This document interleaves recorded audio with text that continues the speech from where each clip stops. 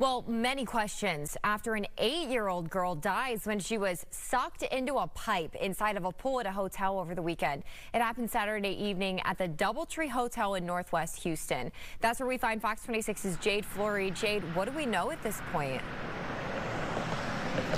Well, Houston police are still waiting for the autopsy results for eight-year-old Aaliyah Hayco. It's still unclear what exactly caused her death, but search and rescue experts that I spoke with today believe it may have been a mechanical pump malfunction. This is something we never thought that we'd see.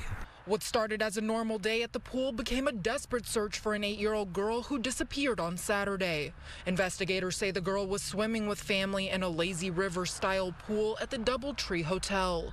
Officials reviewed security footage and say it shows the little girl going under the water, but never coming up. We never seen her get out of the pool. The Texas EquuSearch team was called to assist with the search. Hours later, using long poles with cameras attached to the ends, searchers found the girl inside of a large pipe in the pool. The size of her body,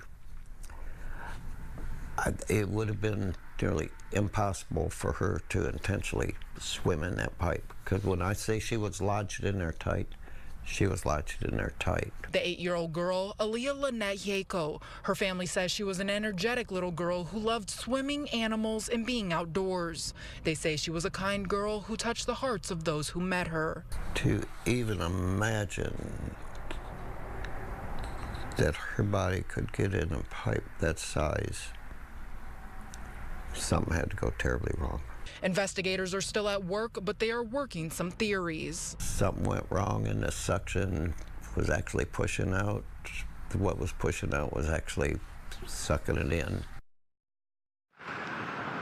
Now, we did reach out to the Doubletree by Hilton about the incident, and they say that this Doubletree Brook Hollow location is independently owned and operated, so they cannot comment on the hotel's behalf.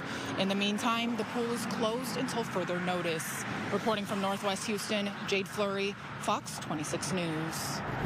All right, Jade, thank you. Well, we just got our hands on a report from the Houston Health Department about the hotel pool, and it shows numerous violations the department wants fixed.